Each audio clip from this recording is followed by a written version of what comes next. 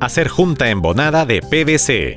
Operación que consiste en unir a presión tubos y o accesorios PVC usando pegamento PVC para agua y desagüe, con la finalidad de realizar instalaciones de agua y desagüe en una edificación.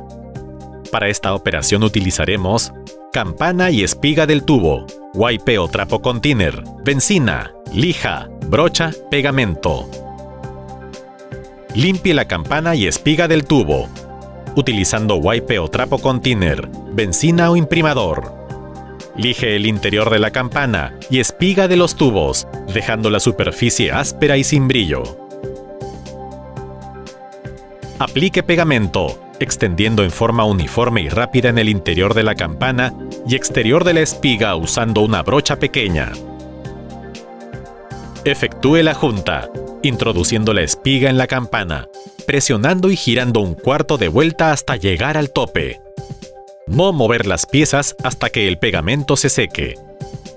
En un empalme bien realizado, debe aparecer un cordón de pegamento en todo el contorno de la unión.